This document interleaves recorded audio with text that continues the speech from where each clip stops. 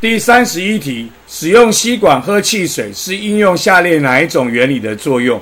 啊，其实我们这里可以很清楚看到，它不太可能是所谓的空气的浮力或液体的浮力。事实上，我们用吸管喝汽水，我们用力所谓的一吸，是把吸管里面的气体吸过来，所以吸管里面的气体变少了，所以压力变小了。然后外面有大气压一压，就把那个水给压上来了，所以它基本上是大气压力的作用的关系。所以呢，我们第三十一题问我们说，使用吸管喝汽水是应用下列哪一种原理的作用？我们答案要选的是 C，大气压力。